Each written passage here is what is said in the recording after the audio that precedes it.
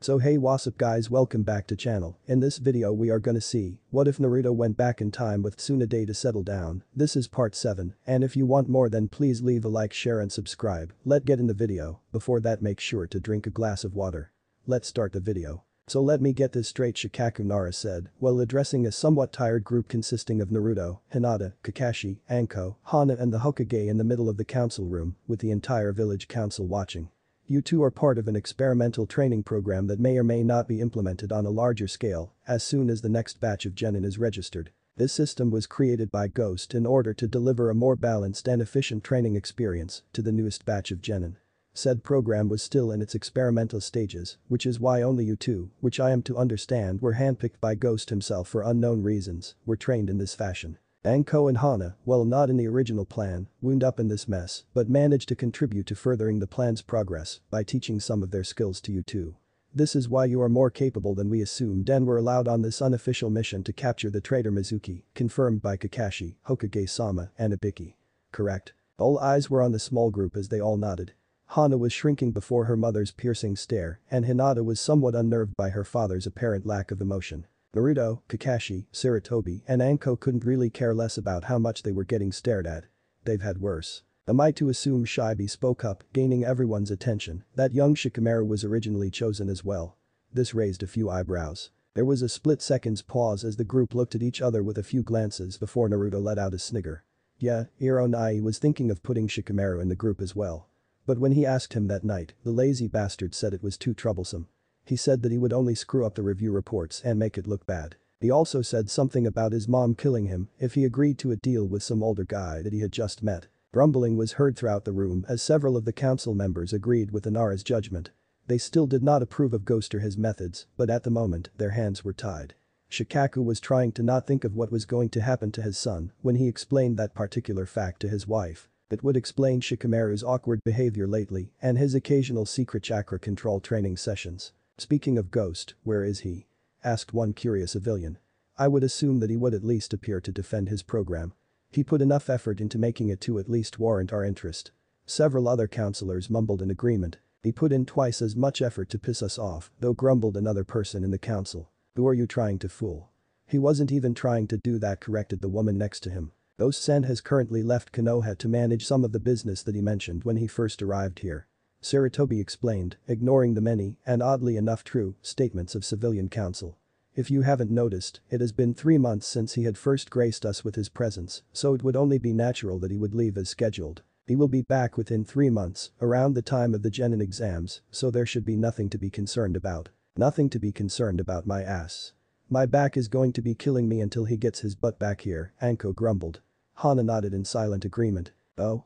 Hiashi asked, causing the girls to flinch. What does Ghost have to do with your backs? Yes, do tell. Hana growled to her daughter more than anyone else. She didn't like her trust Ghost, and hearing that Hana was spending extended periods of time with the man didn't help things. Hana shrunk back.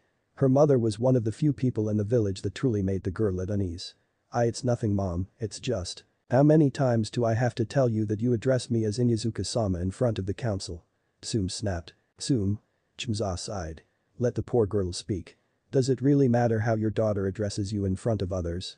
Hiashi mentally sighed at this, knowing it did matter with him and his daughters, even if he wished it didn't. It does when she is 17 years old and a chunin. She growled. Now tell us what you mean when you said your backs would be killing you. Anko blanched. Ah I just mean that he gives really good massages. Really good massages mmmasagi. Anko started to drool. It didn't take long for Hana to start leaking out of her mouth too. The council sweat dropped and Tsume was contemplating which incredibly painful way she should use to kill Ghost for inadvertently causing her daughter to embarrass her in front of the council. HMPH. The elder Koharu grunted. Like it or not, he is gone for three months, so either you find someone else to give you your back rubs or you wait. Now if you will she never got to finish her sentence as Hana and Anko both turned their heads to Naruto with evil glee. Naruto responded in kind by screaming like a little girl and hiding behind the Hokage, who was pondering if he could actually take on the two women in their current state and live to tell about it. Hinata on the other hand rushed in between the two pairs and prepared to fight the two women in order to claim first dibs on Naruto's back rubs. Of course, no one knew about that yet. Kakashi was reading a book. Needless to say, the entire council was very lost and speechless. What's going on? Inoichi asked incredulously. Well Kakashi replied as if a genocide was not about to occur a few feet away from him. Ghost taught Naruto here several things such as some advanced chakra control, better fighting forms, common sense, OI. How to throw kunai better, basic strategies, and was in the process of teaching him others before he left. One of which was, for better or for worse, how to give a massage that would have women melt in your hands. Apparently it's an extremely effective and non-lethal way to obtain information from females, unless they have weak hearts, of course. Anko and Hana here can attest to this. Kakashi nudged his head towards the catfight in the making. It's the main reason why you've seen Ghost running for his life away from them these past few months. A rub here, a squeeze there, and before you know it, you find yourself on the bottom and your tenant on the top. It's a shame they won't let me watch. Like hell we will pervert, now put down the book and help us get our new toy.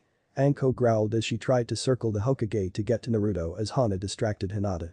Everyone watching noted that if this went for much longer, the two women would more than likely try to go through Naruto's human meat shield to get to him. And why is my daughter protecting Naruto then?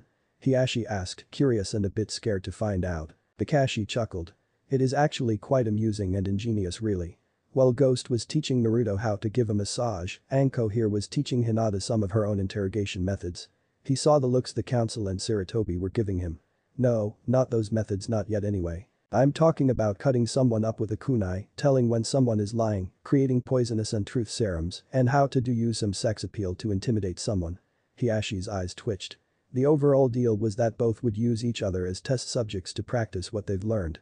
In short, they have first dibs on each other. It just so happens that Naruto hasn't had a chance to practice on Hinata yet, which she has been looking forward to very much, while Hinata has been practicing filleting Naruto here for about two weeks already.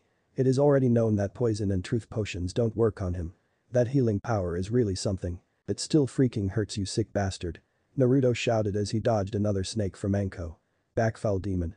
Back I say. So you're saying that ghost was giving my daughter and Anko here massages that were so good that they could have divulged confidential information.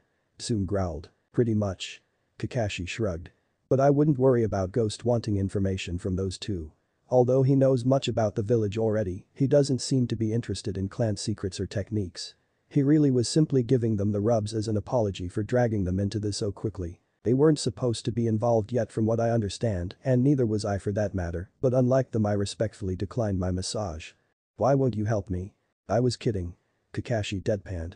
Ghost nearly threw up when I asked him as a joke where my massage was. The entire council sweat dropped at the scene in front of them. It was clear that Ghost was having a larger impact on them than they thought as they saw the brawl continue. To Hiashi's amusement, Hinata was putting up a fairly decent fight against Hana. The old man was getting sick at this point from being spun around so much. Hana. Soon barked, on the verge of jumping out of her seat and whipping her daughter right then and there. Stop this right now. Tsume's outburst was enough to snap Hana out of her daze and back to reality as she retreated from a very scary Hinata. She hadn't used any of her Juken, but she still could hit hard. Hinata-chan. Naruto yelled as Anko dragged him away from Sarutobi completely covered in snakes. Save me. I don't want to be raped. 8 trigrams. 32 palms. Hinata shouted as she rushed the unguarded snake mistress and perfectly nailed the combination of Tenketsu on her body that would induce temporary paralysis but not injure her body in any way and still enable her to speak. Needless to say, Hiashi was damn well impressed. He was a bit concerned however when his daughter started to hug the fetal position Naruto from behind. Snakes everywhere. Naruto whispered in a traumatized voice. SHHHH. It's okay Naruto-kun. The snakes are gone now. Hinata whispered, rubbing his head like a pet. Kakashi? Hiashi asked a bit concerned. Um? The Cyclops looked up from his book as if nothing happened. Oh that. Let's just say that we had to leave the two alone with Anko occasionally. The end result is pretty much what you see here. One gets nearly traumatized for life and the other steps in to bring them back to sanity. This occasionally happens when Ghost is teaching them as well, but not nearly as bad as with Anko. It's helped build the trust between them. They're actually a pretty good tag team when it comes to a fight. Hello? Said Snake Woman shouted from the ground. I'm having a little trouble moving here. Paralyzed body and all. Help. That's all and well. Danzo growled, feeling a bit more comfortable with Ghost out of town for a set period of time. But I am concerned about other aspects of the boy. There were dark looks around the room as the Kyubi was hinted at. Hinata, it would be best if Yu Hiashi started, not wanting to put his daughter in harm's way. I already know about the Kyubi father. Hinata said coldly from behind Naruto, shocking everyone in the room who didn't already know she knew. And personally, I am disappointed in how this council and the older villagers manage the situation. If one seals a kunai into a scroll, the scroll is still just a scroll, not a kunai. It may have a kunai sealed in it, but it is still just a scroll. Naruto-kun is no different.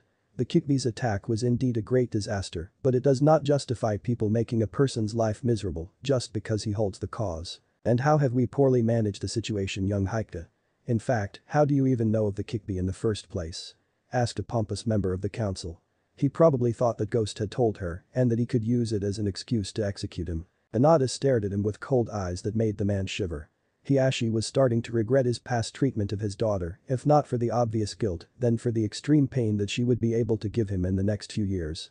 Don't think I am as blind and as deaf as the other villagers. October 10th, Naruto's birthday, the constant beatings, the whispers of demon and monster behind his back, the seal on his stomach, his new look, the reason no one would tell me how the fourth beat the Kyuubi. It was obvious that Naruto-kun was related to the Kyuubi in some way. Not everyone in this village is completely ignorant of what is happening around them. All it took was a little research to find out that it was impossible to outright kill a tailed beast in the first place and that the fourth was a seal master. All I had to do was look at a book about tailed beasts and the term Jinchuriki jumped out practically on the first page. Figuring out what had happened afterwards was simple. The only thing this does is give us another reason to make Naruto-kun would be an ally instead of enemy.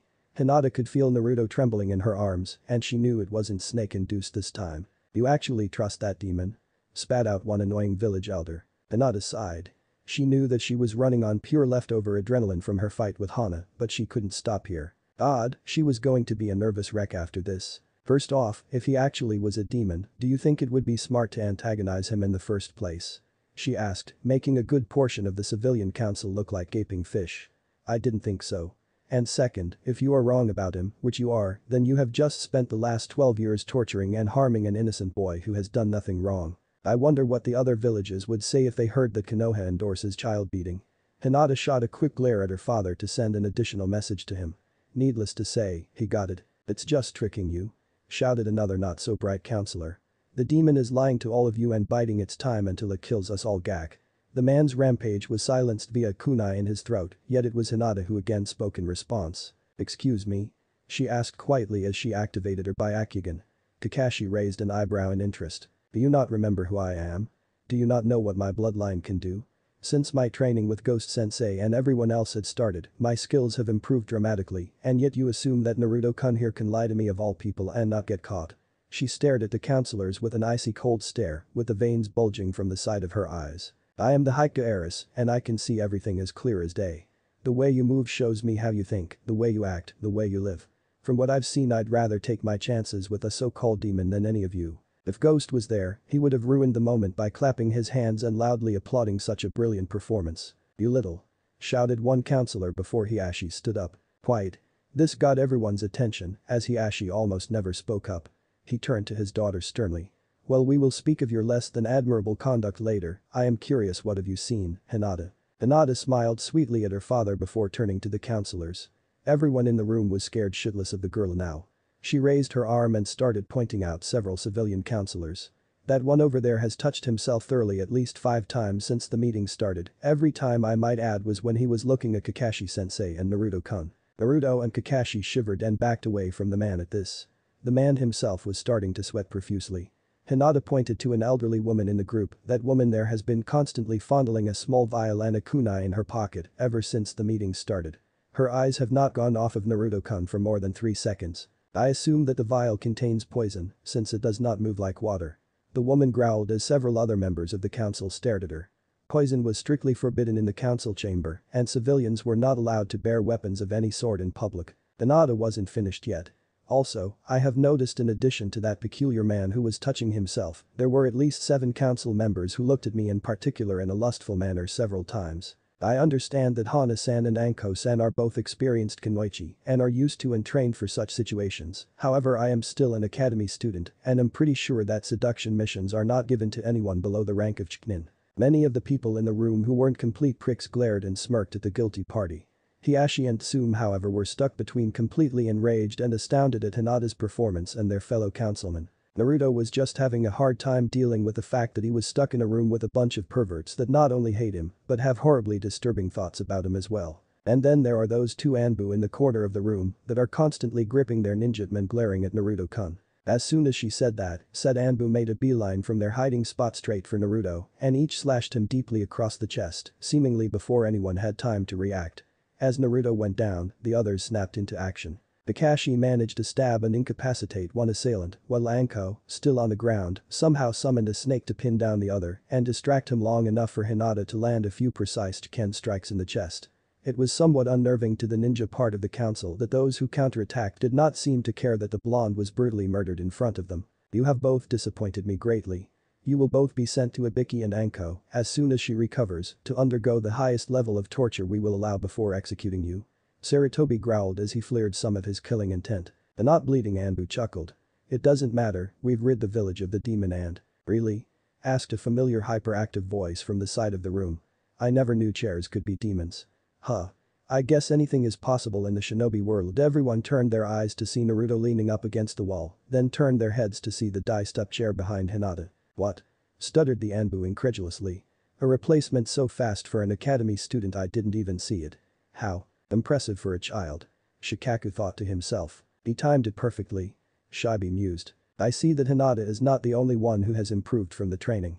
Hiashi pondered. I have a man who just this morning chased me across town for three freaking hours, yelling about toothpaste and toasters, and a psychotic woman thing who enjoys cutting people and licking their blood for teachers. Naruto deadpanned as everyone else sweat dropped a little. Do you honestly think that my paranoia and escaping abilities wouldn't have gotten to at least that level in three months? I have to pull off stuff like that every day if I want to get all my training done on time. Heck, I've gotten to the point where I can replace myself repeatedly within a second without breaking a sweat or even thinking about it. For crying out loud people, they charged me from the front. It was easy for me to get out of the way. Besides I thought you knew that the seal wasn't fully set yet the entire room's idiot population paled dramatically. B but, Anbu stammered one councilwoman. Anko chuckled from the floor. You're wasting your time. Ghost already had the kid's nerves fully pulled and trained before I even got involved. Trust me, I've tried getting my hands on him using some of my stealth skills. Brat's harder to catch than Tora on catnip. He's naturally wound up tighter than most seasoned men, although I don't think Ghost is the one we should thank for that. Naruto chuckled. Who knew running away from angry mobs, dodging the crap that the villagers throw at me on a daily basis, avoiding the alleyways with drunks and rapists, and avoiding the Anbu after every one of my pranks would come in handy. The reaction from his explanation was as expected. Silence, pity, shame, rage, and of course indifference. There were some interesting others though. Rapists? Growled Hana. Oh yeah, Naruto replied with a smile what was scaring the shit out of everyone in the room. He occasionally took some time to set his eyes on several of the civilian members and for added measure, made them glow a little bit for an extra flair. You would be surprised with what you would find if you lived on the streets for a couple of years. Don't worry, I didn't get caught by the rapists somehow. The drunks and the mobs not so much, but I occasionally stumbled across some incidents in the back alleyways. What? Kakashi asked in a shocked manner. Naruto was kicked out of the orphanage when he was 7 years old and lived the next 2 years on the street, with no one looking after him. Sarutobi growled in shame. He was busy with the Uchiha massacre at the time and then dealing with its aftereffects, so he couldn't manage to find time to see Naruto. Compounding that was the fact that the boy was elusive enough to dodge Anbu, who he didn't trust for obvious reasons. Sarutobi saw neither hide nor hair of him until two years later when he found Naruto sleeping under the roots of a large tree, thin and clearly starved. As depressing as this sounds, growled Danzo. We still have the issue of now three apparent traitors to deal with, as well as this new program to decide on. Sarutobi took a moment to stare at his old rival to see if there was some sort of hidden agenda on his mind. He is right. Sarutobi agreed after a few seconds. We have become distracted by various matters this evening. Let us get Mizuki out of the way so we can discuss the things that matter. Right. Replied a slightly unnerved Inoichi as four more Anbu materialized and took away the two rogue ninja and the decaying body. The report states that after Naruto here went back to the academy, Mizuki confronted him privately and told him that because of his missing three months combined with his poor grades, he would not be able to graduate the academy that year, regardless of how well he did for the rest of the term. Mizuki then told Naruto that he could gain extra credit by performing a secret mission where he would sneak into the Hokage's personal archive and steal the forbidden scroll before meeting up with Mizuki at training ground 82 at 11 o'clock to pass the test. Naruto apparently knew that Mizuki was up to something and reported to both his minder, that being Kakashi, and Hokage-sama. There, you three came up with a plan to capture the traitor in the act, as well as give both you and Hinata here some field experience, and use the incident as proof that this program works. Am I correct so far? Everyone nodded in agreement. Hinata was hunched over Anko, busy reopening her tenketsu. Inoichi continued. The plan was to use Naruto and the scroll as bait to lure Mizuki out and provoke him into revealing his treachery. Kakashi and Hinata would be hiding nearby to confirm this. In the meantime, Hokage-sama would drive the village into a controlled frenzy so that things did not get out of hand and so Mizuki would not suspect anything. That is correct. Sarutobi confirmed. I gave explicit orders that should they come across Naruto, they were to not use any excessive means while apprehending the boy, so long as he came peacefully. I also said that anyone who decided to overstep their position would have a date with Ibiki. Inoichi proceeded with his review. What you didn't expect was one Iruka Umino to find you shortly before Mizuki did during which Naruto pretended to play ignorant and act according to what Mizuki believed he would do if he did go with the original plan. At this point, Mizuki assaulted both Naruto and Iruka, in which Naruto managed to push Iruka out of the way and dodge the assault in time. I love logs. Naruto sighed in bliss. They're just everywhere. Amen. Replied all the ninja in the room. It was something of a fact of life that all ninja of Konoha had developed a sort of worship for logs by the time they reached Chunin. Bloody ninja and their bloody logs grumbled one of the civilians. You say something. Growled Tsume. Moving on sweat dropped Inoichi, Naruto then proceeded to distract Mizuki, while Hinata and Kakashi secretly got into position to ambush him. During which, Mizuki broke the third's law about the Kyubi by telling Naruto in an attempt to distract him and most likely take advantage of his would-be distress. Luckily it backfired as Naruto had already knew about his tenant and reacted by laughing and telling Mizuki so, causing him to be caught off guard by Kakashi and Hinata. Kakashi knocked Mizuki out quickly and Hinata paralyzed him so that he would not be able to escape should he regain consciousness. You all then proceeded to bring the traitor back to the Hokage, where he is currently being interrogated by Ibiki, while informing Iruka of what was happening along the way. While this was occurring, Kunoichi Anko Mitarashi, Hana Inuzuka, Ikao Yuzuki, and Kuranaiki were busy under orders from Hokage-sama, distracting and guiding away angry mobs consisting of fellow ninja and villagers in order to provide the group safe passage through the village without incident. Those idiots were way too easy to trick. Anko chuckled as she got up, testing her body's functions. That is correct. Sarutobi confirmed, ignoring Anko's statement. Word spread of Naruto's thievery much faster than I anticipated and I was concerned that something may go amiss if the unknowing populace was left to their own devices. Fortunately for us, Anko and the others appeared before me soon after I started ordering people around, wondering what was going on and knowing that there was something else I wasn't telling. Anko and Hana had managed to convince Ikao and Kurenai that something else was happening and gained their assistance in rerouting the villagers without much issue. Inoichi nodded, understanding what the Hokage was saying as he continued. You mentioned in the reports that you allowed Naruto and Hinata to learn a technique from the scroll. Do you think that is safe? What technique was it? Kakashi I smiled. Considering the drastic increase in both of their chakra reserves, Naruto's lack of control, and the Hyuga clan's limitations on jutsu usage, I only thought it would be appropriate to teach them the shadow clone technique. Shadow clones? Hiashi gaped. Such a technique required a fairly large amount of chakra to perform. He knew that Hinata was more powerful yes, but to this extent. How many clones can they make, Kakashi? Asked Shimza, curious about the two skills now. Kakashi chuckled as he turned a page of his book. From what I have seen, Hinata can make roughly 8 clones before she starts to feel the strain of the technique. Everyone stared at the blushing girl, impressed that she could make so many already. Eight clones Hiashi murmured as he activated his bloodline to look at his daughter's chakra coils in detail. He nearly gaped when he saw how developed they were. She has more chakra than the average Chunin he whispered in shock. Oh yeah. Naruto said as if he just remembered something. What did that chakra sensor thing say was your chakra level Hinata? The bastard took me out of the classroom before I could see your turn. Hinata tried to shrink into her coat as she unintentionally started pressing her fingers together. 782, she mumbled. Needless to say this sparked much conversation in the room. Heh. Chuckled Shikaku. I guess my son should have taken up Ghost on his offer. At least he'll get some decent training done if he becomes a genin. We haven't decided whether or not to approve of this special program in the first place Shikaku-san. Growled the Haruno representative. And why, dare I ask, wouldn't you? The lazy man countered in a tired tone. We have the results right in front of us. Two children who haven't even graduated from the academy have helped us take down a traitor.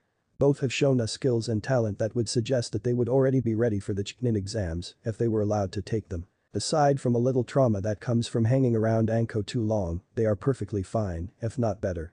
Not only that, but they are learning from several teachers specialized in more than half of the fields that they could potentially go in. I don't know about you, but I personally want my kid to live long enough to give me grandkids. Shikamaru stared up to the sky from his bedroom window. I feel a disturbance. As if a thousand lazy single men were screaming at me in warning, and then silence. Troublesome. And then he rolled over and went back to sleep. The room was full of arguments from some of the louder council members as the silent ones were talking with subtle shifting of the eyes and nudges of the head. As much as Danzo loathed Ghost, this new program he had created was rather impressive and efficient, even if the subjects taking it still had their emotions running wild. He started to send his silent messages to his supporters in the council to approve of the plan. What does the plan entail? Shibi asked, getting everyone's attention. What sort of training does the final product produce? Sarutobi sighed. Well, I was hoping to release this information later, but it seems that I don't have that luxury now. The plan itself is fairly straightforward. After the teams are formed, the active groups will follow a weekly schedule. Three days of the week will be the same as before, spending time focusing on doing missions and building trust with teamwork exercises. It is the other four days that will stray from the path. He looked around to make sure he had everyone's attention. These four days will consist of all the groups, their teachers, and several recommended ninja gathering together and providing a balanced education to the new batch of genin. Each teacher will cover the other's shortcomings to provide a more evenly spread out training regimen. I have seen a pattern where teachers who specialize in Genjutsu fail to properly educate students who are more suited for Taijutsu and other similar cases. This plan aims to correct that. During these days, after their required training in all the mandatory fields is done, the students will split up and go to teachers that can better accommodate their own personal skills. The girls will most likely go to the Genjutsu, medical, poisons and stealth teachers most frequently, while the boys to the Taijutsu and Ninjutsu teachers. The benefit of this program is that the students pick the teachers for their additional lessons, allowing them to be more comfortable and progress farther in their training. Several grumbles of agreement sounded off in the room. Tsume was still skeptical. If that is true, then what are Hana and Anko supposed to teach? Sarutobi sighed. Hana and Anko were apparently handpicked, much like Naruto and Hinata, by Ghost as teachers, albeit they were thrown in a bit earlier than anyone had planned. Anko with her stealth, assassination, interrogation, poison, and yes, seduction skills, and Hana for her medic skills. According to Ghost, they have done almost as good as a job teaching as these two have been learning. It was also an experience for them to learn off of each other as well. I have noticed Anko occasionally reading some medical books, and Hana's stealth abilities have improved greatly. Damn straight. Anko laughed. I needed a refresher course in biology anyway. My poisons have been losing their potency recently, and what better way to make them better than to brush up on my medic skills. Now I can torture my prey nearly three times as long as I used to before they get close to dying. Yay. Ana Inuzuka isn't she the village's vet? Asked Mza, desperately trying to ignore Anko's recent statement, staring at the unnerved teen. It is precisely for that reason why he chose her in the first place. Sarutobi said before Hana could embarrass herself in front of the council again. Ghost's logic was fairly simple. Because Hana deals with treating several different types of bodies on a daily basis, as well as originally learning about the human body, her knowledge of a fair amount of healing techniques, and the fact that her brother is in the next group of future potential genin, it inadvertently made her the best choice for the job. Because we are ninja, we will eventually have to deal with situations where the bodies of our opponents will be non-standard, perhaps even not entirely human. Hana's experience with various animal body types enable her to have a better understanding of what the various differences in organs and body structures will do and how they will perform in different configurations. While she may not have the most experience out of all the medic nin in the village, she is the one with the best chance of getting the children to learn what they need to. It's true. Naruto added in. Hana-sensei is a lot better than most of the teachers in the academy it's easier to understand her, and she has no problem dumbing it down for someone like me, probably because Kiba is almost as dumb as I am. Heh. I'll never be good at medic stuff, but I at least want to know enough to have a decent impact on whether someone I care about lives or dies. Hinata decided to add her own two cents into the mix. I'm also learning a lot from Hana-sensei. I am already able to use the Mystic Palm technique to an adequate level, and we both can do diagnostic jutsu with little trouble. We're already going over poisons and antidotes. Sensei is really impressed with my medicinal plant and herb knowledge. One counselor chuckled. It seems like Ms. Haika here got the better end of the deal. The blonde brat hasn't seemed to have improved that much, aside from being able to dodge better. Naruto pouted. HMPH. You're just saying that cause you don't know how much chakra I have. This had everyone's attention, as they had completely forgotten why Naruto was gone from school for three months in the first place. Er how much do you have?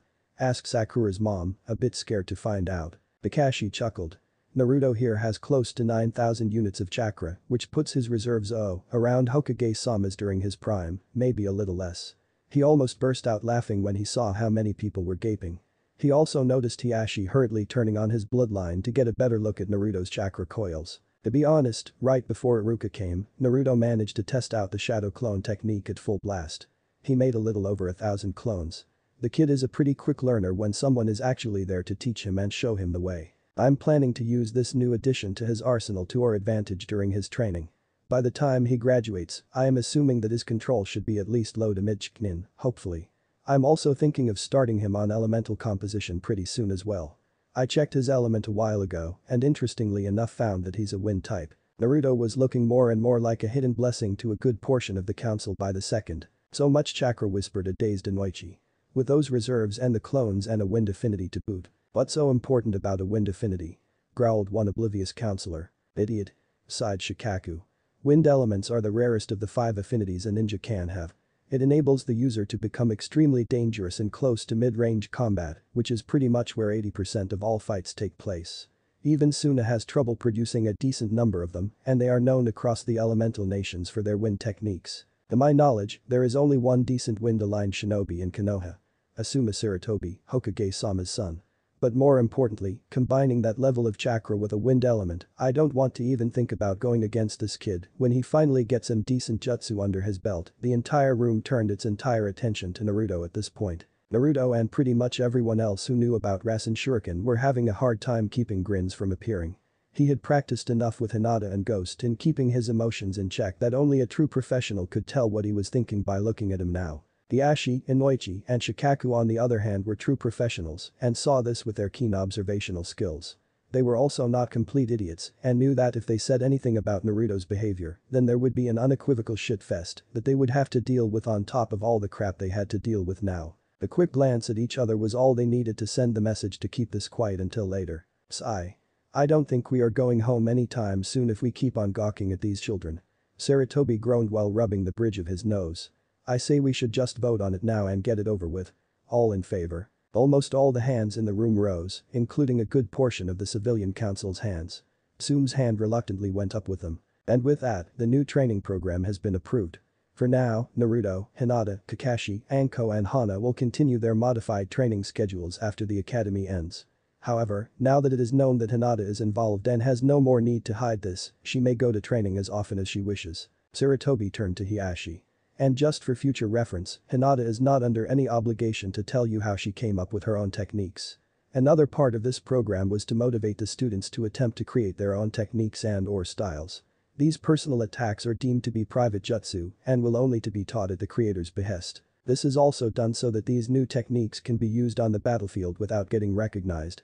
Though clan techniques are indeed powerful, they are also well known and thus so are their weaknesses and flaws. I can tell you right now Hiashi that according to Ghost, Hinata here has created several new techniques thanks to the training and support she has received these past few months. He has also told me to tell you that Hinata is not allowed to teach anyone, especially your clan these techniques or anything else she has learned via this training until, and I quote.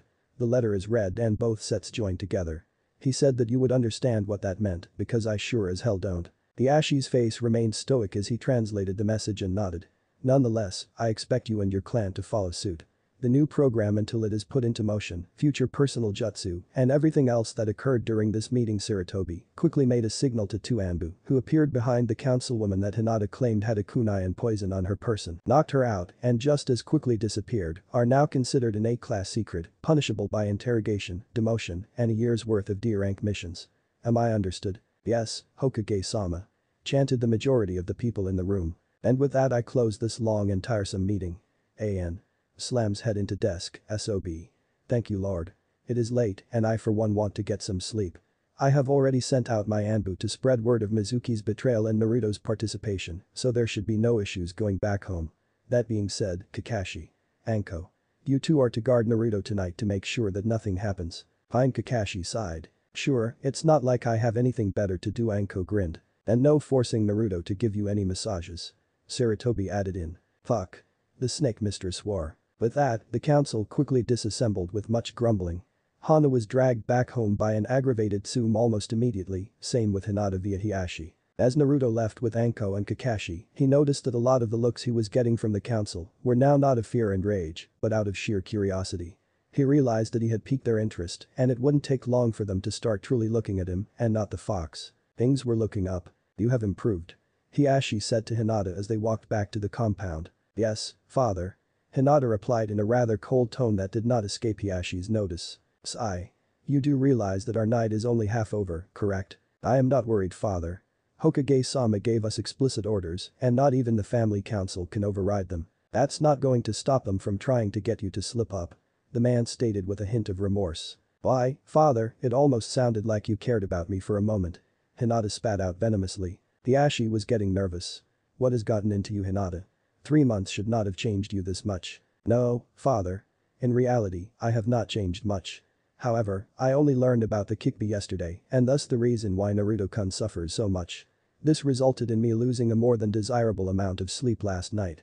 The special training that I have received these past few months has made my time at the academy nearly useless, thus making my time there a form of unintended torture. Then, there is my continually abysmal treatment at my so-called home, the only goal of which seems to be to crush my spirit in any way possible.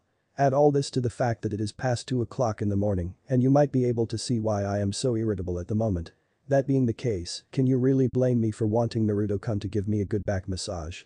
Hinata calmly ranted. Hiashi made a mental note to never wake up Hinata early in the morning or try to sleep deprive her ever. Point taken. Several moments of silence. So Hiashi started, trying to make an effort to connect with his daughter again. You have made some new Ken techniques. Hinata smirked. Yes I have, father. I have made approximately 5 new ways to manipulate my chakra to deal various types of damage, including 3 ninjutsu, and have made some alterations to my stances and kata in order to make my Ken more natural for my body type. I have not fully mastered them all yet, but it is simply a matter of time before I do. Hiashi stared at his daughter in awe. Ghost had occasionally visited him and had ranted about her progress and her apparent skills, but he had thought that he was merely stretching the truth. He truly had made a mistake when it came to Hinata after her mother died. And that does not include the standard Juken techniques I have mastered. Hinata grinned, causing her father to pale even more. As you saw during the meeting, I have also recently mastered 8 trigrams. 32 palms, the shadow clone technique, and am currently working on the 64 palm variant. I also have quite easily mastered Kaiten as well. Hiashi had trouble breathing. Kaiten. You know how to do Kaiten. I only gave you the 32 palm scroll as something for you to work on in your spare time. Did you? Did Ghost? Hinata laughed. Father, you put too much pride in our clan secrets.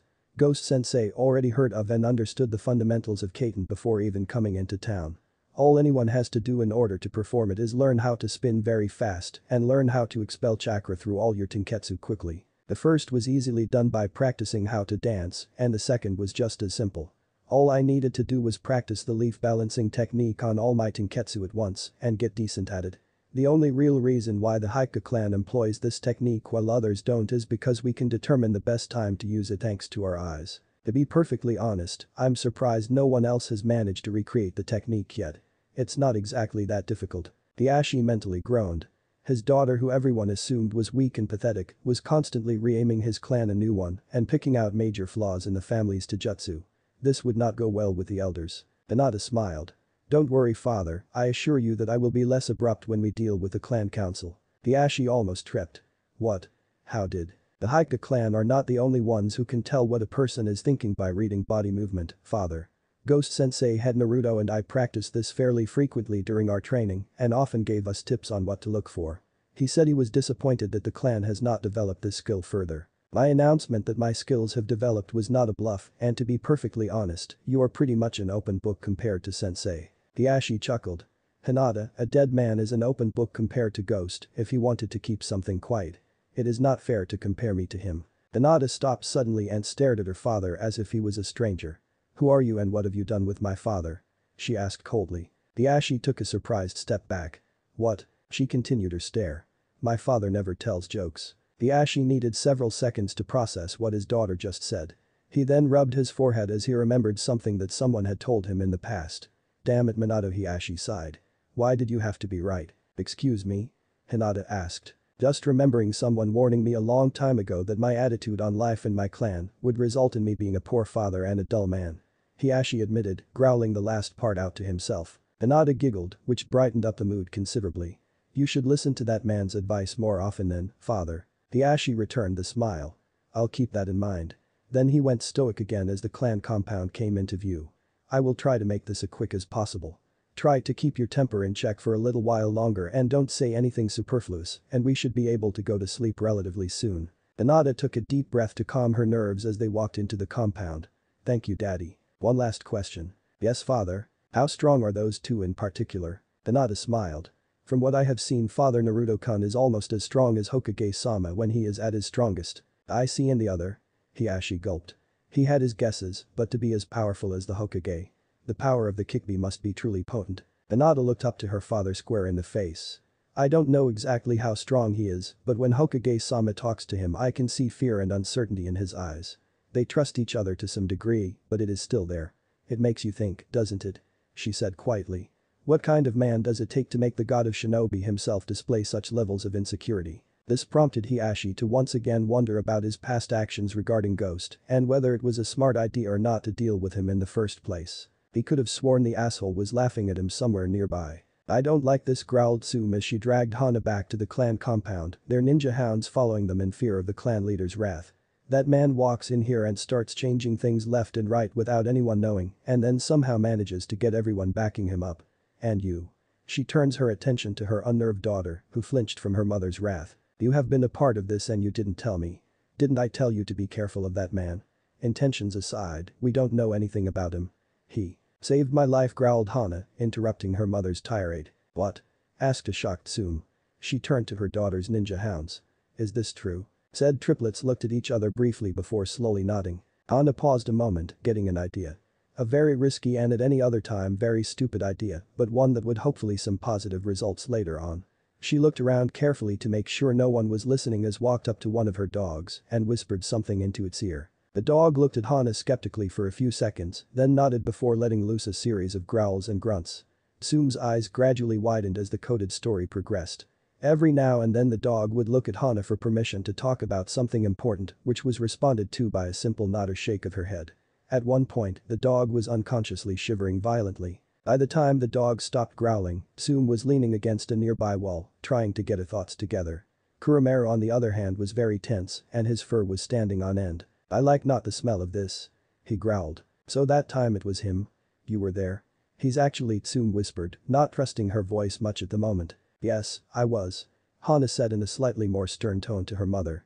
It's something he doesn't talk about much and it doesn't take a Hyuga to tell that it hurts him a lot to just think about it. Did he tell you how often? He told me that it is something his entire family goes through once a year with him being an exception.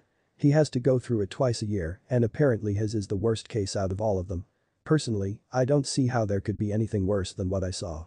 Regardless, he doesn't use it as any sort leverage on Anko and I and prefers to go through life as if it never happens. The true alpha indeed. Growled Kuromaru. The grey triplets on the other hand were arguing of all the times they had to maul Ghost to stop him from doing something silly perverted to Hana, which resulted with a tick mark on Tsume's head. Kuromaru laughed dryly. Like I said a true alpha indeed. Potential sexual assault aside Tsume growled as she leaned in close, when is it supposed to happen? The leading triplet growled in response, getting a decent response from the clan leader. Of course the timing would be perfect. She muttered to herself. I think this would be an appropriate time to let you know that it was several other members of my group that had been making all those pranks on the clan compounds, recently Hana added in quickly. They said it would be a good way to increase the training of the elites of the village without raising any suspicion. Tsume was gaping at her daughter. You mean they were the ones who? The catnip, the squirrels, the deer, the glasses and walking sticks, the squirrels, the stink bombs she was interrupted as her mother clasped both her shoulders. Tsume looked at her daughter square in the eyes. I don't know whether to thank you or maul you. Those were some of the best pranks I have ever been witness to, but the catnip one was one of the worst experiences of my life. Hana's sweat dropped. In our defense, we didn't know that there were so many cats in the village. Tsume sighed in defeat as she turned to the Inuzuka clan compound. I can assume that you are preparing as well given what Hokage-sama told us in the meeting. Hana nodded. The triplets and I have improved greatly. Our Gatsuga are stronger than ever and we have been testing out new formations. In addition to that, we have been doing extensive work on our chakra control and reserves. Our stealth is miles ahead of where it used to be, plus all four of us have started on elemental manipulation and composition. Tsume's eyes widened as she looked at her daughter and her partners. All four of you? Hana smirked. Yeah. Despite these three being triplets, two of them are fire elementals, while the other is a lightning elemental. I surprisingly enough have a wind affinity, so we are working on how to combine our techniques and our elements together. For now though, we are simply trying to manage our elements. Tsume gawked at her daughter in awe. If she kept this up, she might just become the head of the Inuzuka clan years ahead of schedule. Despite what her initial impressions of Ghost were, she was backed into a corner and had to admit that so far he was doing nothing but helping Konoha. She was going to have to talk to him when he got back. Just two more questions. Yes, mother. Hana asked a bit scared. How strong is he? Hana paused. I don't really know mom. From what Anko has told me his stealth and assassination skills are at least elite Chunin level, possibly even Kage level. He has said himself that his physical strength is only borderline Chunin at best, and from what I've seen he's not lying. His speed, agility, and skill are to put it lightly insane. There have been fights where I have gone all out against him and haven't got close to even scratching him, and he barely breaks a sweat. He also has enough stamina and chakra to produce a couple hundred shadow clones before feeling any strain. Tsume's eyebrow raised at this comment. But as far as powers go, he has made all of us swear to keep quiet until he tells us otherwise. I can only tell you that when I asked him about his incident, he hinted that it was what he had to pay for in exchange for them in the first place. She looked at her mother in the eyes. Just to let you know, this is S-class information mother. I'm already risking a lot by telling you. Don't tell anyone anything. Too much is at stake. Tsume was silent for a period of time before she spoke again. I see. Hana sighed, releasing some of the tension that was stuck in her body. Um mom. What was your other question? Tsume snapped out of her pondering before she looked at her daughter again. Hana didn't like that grin on her face. How good are his massages? Hana gulped. Please don't scare him away like you did with dad. Ansem was in his office thinking. Ever since his painful experience at the hands of Ghost, the Warhawk had been lying low, waiting for the perfect moment to strike. One would think that Ghost's departure from the village would provide him an opportunity to do something radical, but he knew that it was futile at this point. Ghost knew too many of the cards in his hand, and he knew barely any in his. No. He would wait, watch and learn. See what makes him tick. Find any weaknesses. Ghost's lecture still ringing in his head, a painful lesson he would not soon forget. You don't know who I am. You don't know what I do. You don't know what I can do. You don't know what I want. You don't know my family, and you don't know me. In short, you have nothing on me. You can't hold anything over my head, you can't provide me with anything I don't already have, and you are far too weak to even try to force me to do anything. Arrogant brat. Curse the old man as his temper rose. I'll play your game for now, but you better be prepared for this to bite you in the ass one day. Ghost sneezed. Huh. Someone who I am vastly superior to must be vowing to kill me, again. Meh. If a person were to ask anyone in the group that day how they slept it would most likely be the last thing they would ever say. Naruto, Kakashi, and Anko were busy keeping vandals, villagers, and mentally impaired ninja away from Naruto's apartment that night. Apparently the Hokage's word, proof from the traitor's mouth, and being protected in person by the copy nin and the snake mistress themselves, were not enough to convince them that Naruto had actually done the village a favor, and thus the three spent the night knocking out villagers, flaring killing intent, and playing hot potato with several Molotov cocktails. Hinata did not fare much better. Despite her father's promise, the elder council was adamant on getting Hinata to spill what she had learned after she gave them a vague list of her skills, even going so far as to suggest putting the caged bird seal on her. The response to that was Hiashi activating his Byakugan and verbally re-aiming them a new one, while stating for the final time that she was under protection from the Hokage, and that any attempt to force information out of her would harm the clan's image and honor greatly. The Hokage was not allowed to interfere with clan politics, true, but the same could be said for the reverse logic. Even if the shinobi were part of a clan, the family's politics could not touch anything that the Hokage had deemed off limits. When boiled down to its basest elements, it really just ended up as a race to see who got to who first. And people said that politics had to be complicated. Then when the matter of Naruto came up, the chaos started all over again. Hinata knew that she could not out loud speak of the Kyubi, so she merely stated to their faces that she knew what they were talking about when they said that he was dangerous. She then gave them the kunai and the scroll lecture and then informed them that they should at least attempt to know someone before coming to any conclusion. She was so tired and pissed at this point that when she got into the unofficial Hyuga stare-off with the elders, which was pretty much like any other animalistic practice for assuming the dominant position. Surprisingly enough, many of the elders were the ones who showed weakness first. The rest she simply stalemated with. After she had started to creep out about half the council, Hinata simply smiled sweetly, scaring the shit out of the rest of them. Hiashi finally stepped in to Hinata's relief and concluded the meeting, stating that due to the circumstances and the proof that Hinata was becoming far more competent than expected, they would allow her to continue to practice with Naruto Uzumaki until either she graduates with her genin team or evidence showed that it would be unwise for her to do so. Shikamaru woke up that night to his mother screaming again. This time she was ranting that his father had told her that he had turned down special training that would have made him far more competent just because he said that he would make it look bad. Needless to say, Shikamaru was cursing a fair amount that night. Hana had gotten off easy. After she had explained as much as she could to her mother, they spent several hours debating about what they should do next, finally settling on Hana's wait and see what Ghost's plans are for God's sake idea, supported by the fact that everyone that matters is already following it. Sarutobi had probably the worst out of all of them as he spent the rest of the night and a good part of the morning going over the paperwork with Homura and Koharu. The Hokage was starting to think that his old teammates were vampires from their apparent ability to work without sleep, so much so that near the end of the workload, he was occasionally trying to flick bits of garlic into their mouths whenever they talked.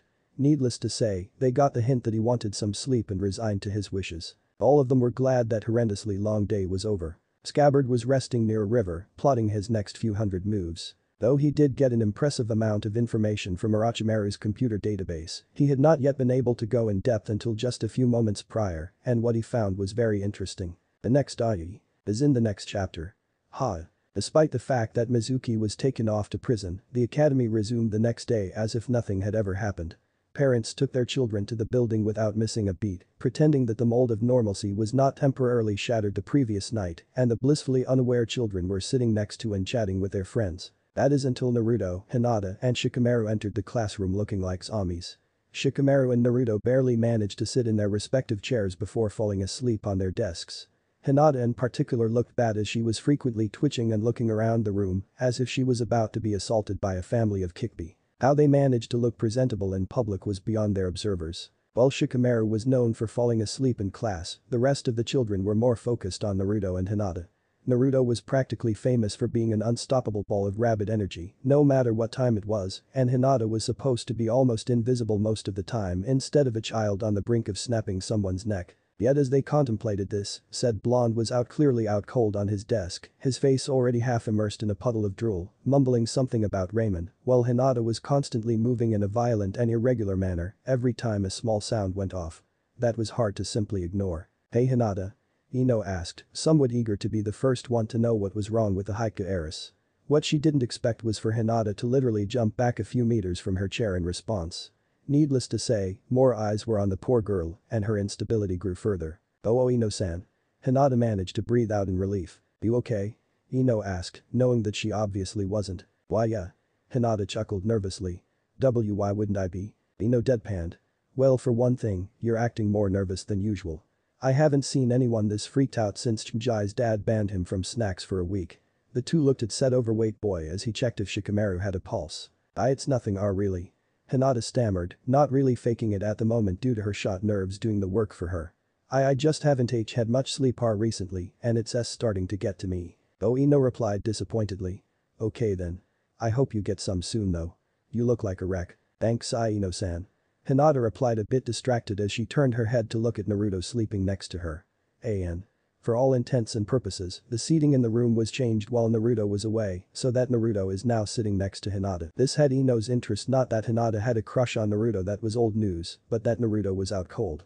Though she hadn't noticed before, she remembered that Naruto was almost never tired unless he was bored out of his mind, and that was before his change, which she had to admit was an improvement. Now if only he would wear something other than that horrible orange jumpsuit regardless, the fact that he was completely out of it was something that the female blonde decided to invest her time in investigating. Hey. Ino whispered, getting another flinch out of Hinata. What do you think his problem is? Naruto's never that tired. Not even after that extreme all-day training exercise that Iruka-sensei made us do at the beginning of the year. Hinata mentally scoffed. That extreme all-day training session was nothing compared to what she did every day, although she doubted that most people had trained with Ghost and Anko as teachers. I don't know. Hinata half lied.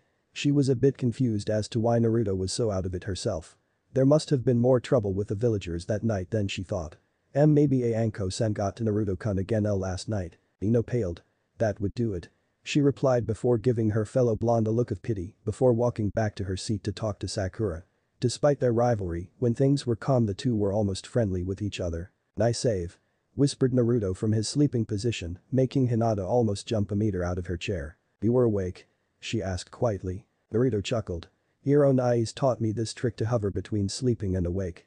You managed to get some rest, yet you are still aware of most of the things around you activate your Byakugan for a sec, I wanna show you this other trick that he taught me. Hinata hesitated for a moment before turning on her eyes and quieting a gasp. Luckily, no one heard her.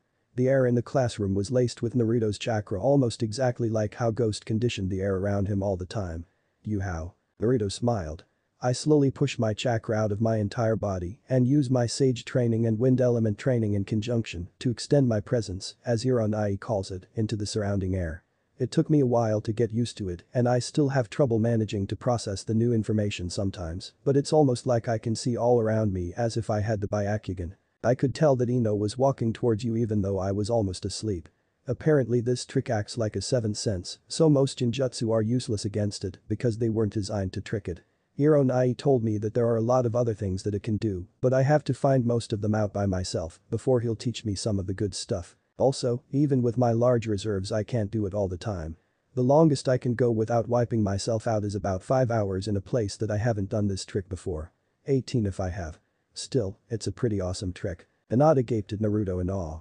Not only did he now have an absurd number of powerful jutsu under his belt, in addition to his mind-blowing stamina and chakra reserves, as well as a fighting style that was difficult to predict let alone defend against. But now he had an ability that rivaled her family's jutsu when it came to sensing the surrounding area combine, that with the fact that he treats women with respect, is secretly the son of the fourth, something that she still doesn't know yet, and happens to have a well. She has used her Byakugan a lot when spying on him for more than one reason. Did she know how to pick them or what? Pain Naruto asked, snapping Hinata out of her stupor, why are you so out of it?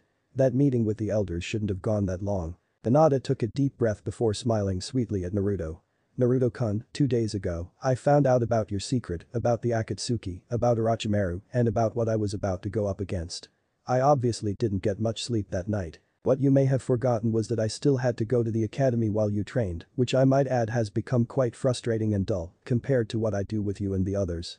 Then we had last night, in which after I stood up in front of the entire village council, I went back home to deal with the Hyuga family council. I did not get to bed until 5 this morning and have only just recently realized the severity of my actions the girl was now leaking out enough killing intent to be detected by most of the class. Luckily, no one, aside from Shikamaru, was good enough to tell it was coming from her. Naruto was starting to sweat profusely as the very intimidating shadow behind his secret girlfriend grew larger and scarier by the second. Naruto-kun, Hinata smiled sweetly to him not fooling anyone. I think the first thing we will be practicing after class is your interrogation tactics. Is there a problem with that? And no, ma'am. Naruto whimpered, coming to an epiphany as to why Ghost, Jiraiya and Sasuke were all scared shitless of women above all else. Speaking of tired. Hinata continued, inner rage temporarily forgotten, why are you tired? What happened after the meeting? Naruto grunted in irritation. The idiot villagers and some demented Chunin who apparently didn't bother to hear what really happened last night. Anko, Kakashi-sensei and I spent the entire night defending my apartment complex from getting torn down or set on fire. Since I'm not a legal ninja yet, I'm not allowed to do anything aside from the Academy 3 outside of the Academy or the training grounds, so no shadow clones. All I can say is that it's going to be a while before I can look at a bottle of alcohol without expecting it to explode into flames. The two spent the rest of their time waiting for Iruka resting, not giving a second glance at who came in.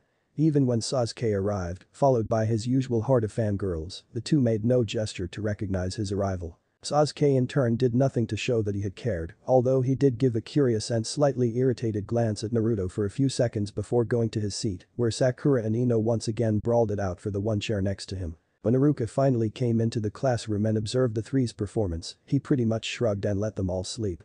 He knew that Naruto and Hinata had had a rough night in general and was questioning whether or not they would show up for class in the first place. As for Shikamaru well, he's always asleep. Naruto was looking a bit pale and sweaty though. Alright class Iruka called out, only to be ignored by pretty much everyone there. Class. No response. Iruka twitched a little as he prepared for his signature technique, the giant head technique. Shut up and sit down. Instant results. Works every time. As I was saying, I have a few important announcements to make before we start off the day. This had the class's attention, as normally Iruka went straight to taking attendance. Due to an unfortunate accident, Mizuki-sensei will not be teaching you for the rest of the year. Because of the circumstances of the incident, I would like for you to respect Mizuki's privacy and not ask what had happened as it is a bit embarrassing for him to talk about. Nice cover. Thought Naruto, Hinata and Shikamaru, who had already figured out what had happened the previous night after seeing Naruto's and Hinata's condition that morning. So does that mean that you're going to be teaching all of us by yourself for the rest of the year, Iruka-sensei? Sakura asked curiously. No, it doesn't Sakura, Iruka answered. Hokage-sama said that the problem will be taken care of in a couple more days, so I'll only be doing the solo stuff until then. He then smiled sweetly as he raised his killing intent a bit. However, I do hope you don't expect to get a lighter workload with only one teacher now right? A unanimous silent nod was the collective response of the rest of the class. Hehehe. I still got it. The day was going pretty much as usual despite Naruto's returned presence. Iruka had allowed the poor blonde to sleep in class, knowing that he must have had a rough night. When one of his other students asked him why he was allowing Naruto to slowly flood the room with a steady supply of drool, Iruka shrugged and replied that if Naruto was that tired, then he must have done something truly exhausting within the past few hours, and that they should leave him be. Besides, the particular subject he was covering at the moment was most likely something that Naruto knew already, if what Kakashi had told him was correct. Hinata seemed a bit jumpy, but if even a tenth of the rumors about what happened last night in the council chambers were true, then he would be too. Kakashi had told him enough to know that the girl had done something pretty radical in the chambers and it seems the rush had worn off during the night.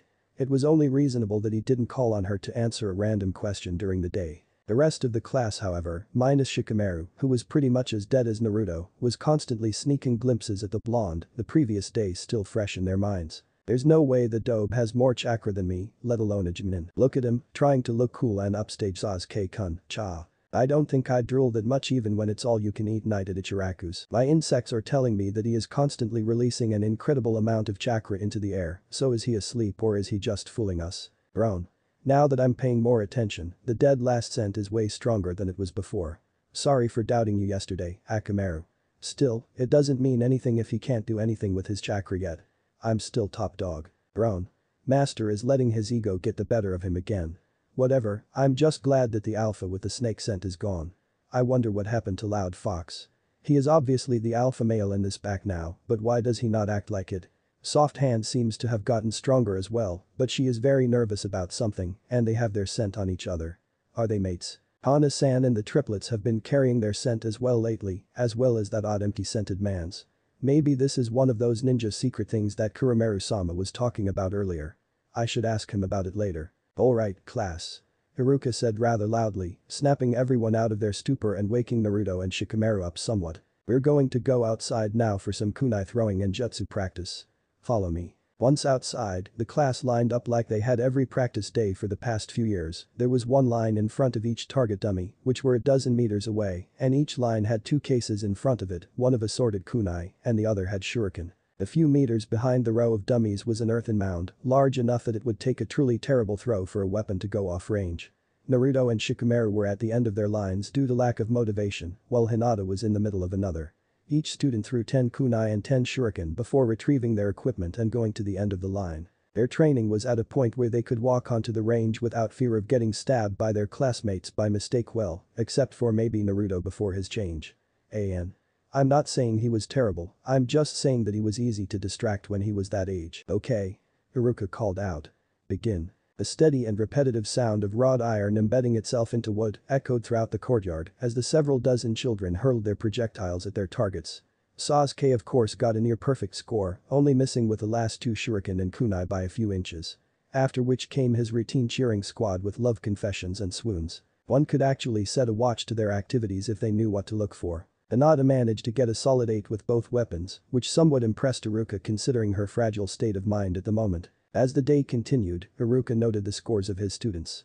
The rough average for the class was about 6 to 7 hits and almost hits of both kunai and shuriken on the practice dummies, which was also the pass-fail line when the exams finally came around. While it was true that the main deciding factor in whether a student passed or failed the Genin exams was being able to perform the Academy 3, the students also had to pass a minimum number of required tests in basic ninja skills. Said tests included physical fitness, weapon skills, taijutsu efficiency, genjutsu, academics, teamwork, first aid, poisons, stealth, traps, chakra control and reserves, and so on. Personally, Iruka felt that the physical and more practical subjects should count a bit more towards graduation and overall standing in the class, but the council had decided to make things easier for those who didn't have clans to support and teach them. His wandering thoughts were interrupted when he saw Naruto drag himself up in front of his line. His fellow students on either side ran to get their equipment back from their dummies or simply waited for him to finish before retrieving theirs. Training or not, no one wanted to be downrange of a Naruto that was having trouble keeping his eyes open, let alone standing. As Naruto bent down to pick up his first round of kunai and shuriken, Sakura laughed. Ha. Watch out everyone. Naruto's throwing now. While this did get a response from a good portion of the class, those who were paying attention noticed that it was significantly less than when they'd mocked him before. Many of the students were looking at Naruto carefully as he pulled out his first kunai sluggishly and turned to his target with less interest than Shikamaru had for Ino. An.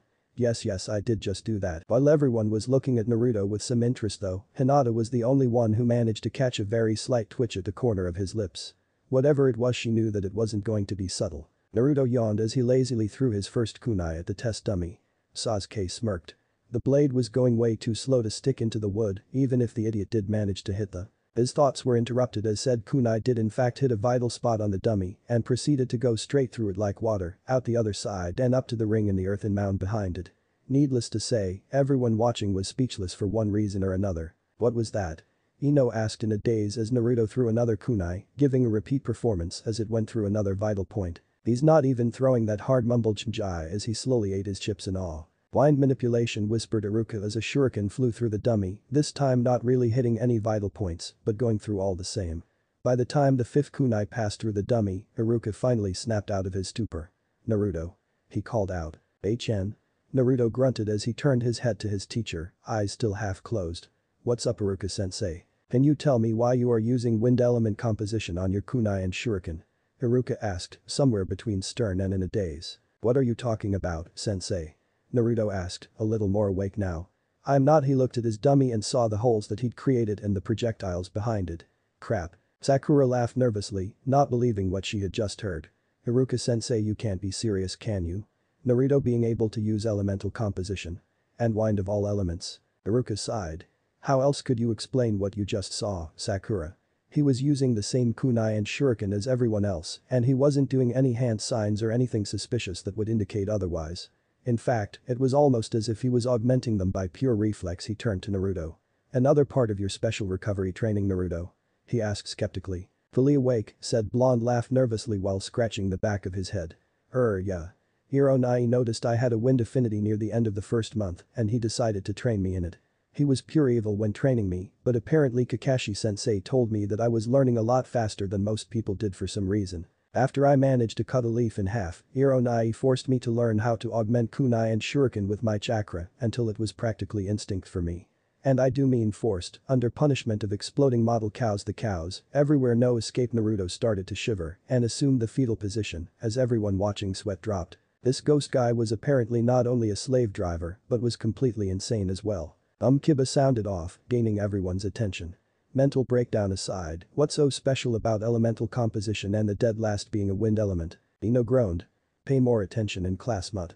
Elemental composition is normally only taught to Chunin level and above ninja because it requires a certain level of focus and chakra reserves. Normally, it takes years for a person to master an element.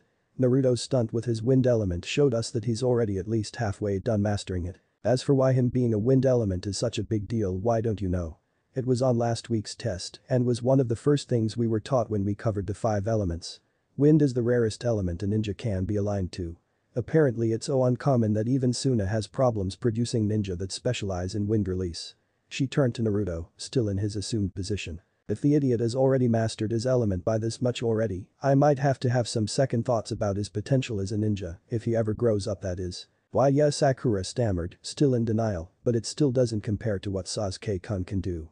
He's a fire affinity, remember? Fire beats wind. Several of Sasuke's fangirls nodded and cheered for their spokeswoman. Unfortunately for them, they didn't notice the small grin on Naruto's face. Oh, how little they know. Flashback, Naruto and Ghost were sitting by the river, watching the scenery around them and trying to ignore the several thousand clones training several hundred yards away from them. It was a week before Ghost had to leave and they were going over what Naruto had learned the past few months. Naruto had noticed that Ghost was occasionally getting more serious than normal more to the point and less joking around. Kid. Ghost muttered, breaking the meditation silence between the two. You're pretty much done with your beginning sensory training. You know how to release your chakra from your body and you're on your way to managing how to sort out the information you are receiving from your sense as well as making your chakra last longer in the air and being able to let out the juice for longer periods of time. Naruto felt a swell of pride inside of him. The training was very difficult, so much so that he doubted that he would have been able to get it right if he hadn't had Sage and Wind Element training beforehand. Yet now he was almost able to get it down enough to use it in battle, if not as efficiently as Ghost could. To be honest, you're the first person I've taught this to. Everyone else that I've had under my wing were either aligned to a different element, not as in tune with nature, or didn't have the reserves to pull something like this off. Naruto smiled.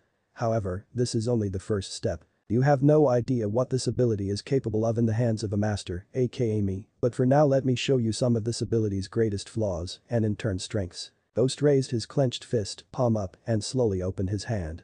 While Naruto's eyes perceived nothing, his seventh sense went haywire as a large sphere appeared over his teacher's hand. Tell me, what do you see? Naruto paused for a few seconds and attempted to figure out what Ghost had just done. I don't know Ironai. My sense is showing me a huge ball above your hand, but my eyes see nothing. Ghost smiled. That's because your eyes are correct. What lies above my hand is a huge space of nothing. No air, no dust, no solids, no liquid. Nothing. The ball disappeared slowly.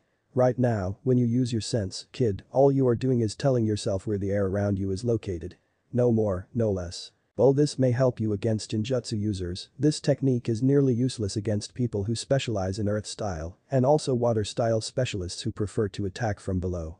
All your sense will detect is where the ground is, not what's below it. It also won't help you if you are trying to look in a room or area that is sealed off from your location. In addition, at your current level, this skill can also be mitigated by other wind users and fire users as they can blow away or burn the air you've conditioned. Even I can't tell what lies in the center of a large enough fire or explosion, and a strong enough wind can also throw me off a bit if I'm not careful. Naruto stared at Ghost in concentration, absorbing all the information like a sponge. But if that's true, how did you stop that fire-style technique when you saved me from the mob a few months ago? Ghost smirked. Before I answer your question Naruto, let me ask you this. What three things must be present in order for fire to occur? Naruto frowned as he recited the basic physics principle. That's easy. Fuel, heat, and oxygen. And what did I just do just a few moments ago? You made a ball of nothing Naruto's eyes widened. I assume you understand where I'm going with this. You made a huge ball of nothing in front of the fire technique to suffocate the technique cancelling it out, even though you're a wind element Naruto explained in awe. Ghost chuckled. Not quite. It wasn't a ball of nothing, but I did make it pretty damn huge. He turned his head to the river. Air is one of the most versatile elements in existence. While it is true that a master of an element can defeat someone who has a type advantage over them if they play their cards right, the rule is multiplied by an ungodly amount when it comes to air. For example, by being able to make voids I have already made myself almost completely immune to mid to long range fire, wind and electric style attacks that do not have mediums, such as shuriken or oil. You might not know this, but electricity requires a sort of medium in order to work, like air or water. That's the main reason why lightning is so potent. Because it has to use such a weak medium to cross the huge gap between the clouds and the ground, it needs an incredible charge in order to establish a link. This is also the reason why lightning tends to strike the highest possible points. Using this logic, a shield of nothing is in theory the best possible way to defend yourself against almost any sort of ranged lightning style attack. Likewise, shockwaves are simply large clustered groups of gas particles that are traveling in a single direction. If a void is between you and a shockwave, the displaced air would simply fill in the void and leave you untouched. Ghost turned to Naruto again. This is another reason why you're going for Earth as your second element. With air alone under your belt and my training, you have already gained an advantage over three of the five main elements in this world.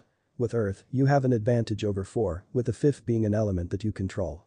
Your next step in training is to familiarize yourself with the air currents around you and manage to control them to a decent degree. I'm not telling you to be able to be able to create monsoons that stuff is beyond your capability, but I do expect you to be able to create at least a strong wind in any direction within your range. Don't expect to get this quickly either. It took me a fucking long time to master this skill, so don't get discouraged if you can't get it right in a few months, even with clones. Also remember to experiment a bit with this ability, as there are many tricks you can do with it that I haven't told you about. When you are finally able to create voids, I will teach you the first original ninjutsu I have or will create. From what I understand, this jutsu will be the first one in your world that will earn the category of mass assassination. Ghost frowned as Naruto started to drool. Despite all of this, you must remember that there will be people that will be able to go toe to toe against you. While I seem a bit overconfident and stupid at times, I have learned to never underestimate my opponents. But what about those times that Anko and Hana-sensei beat you up hand? Ghost smiled. I said I never underestimate my opponents, brat.